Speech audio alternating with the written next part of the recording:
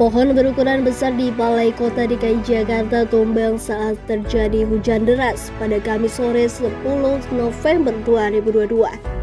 Empat orang polisi dikabarkan terluka dan sejumlah motor tertimpa pohon yang tumbang.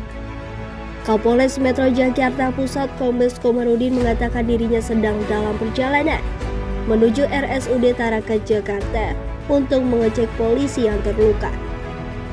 Ia juga membenarkan polisi yang tertimpa pohon di balai kota merupakan anggota bawah kendali operasi atau BKO dari Polda Metro Jaya yang ditugaskan untuk pengamanan demo di balai kota DKI pada Kamis siang 10 November 2022.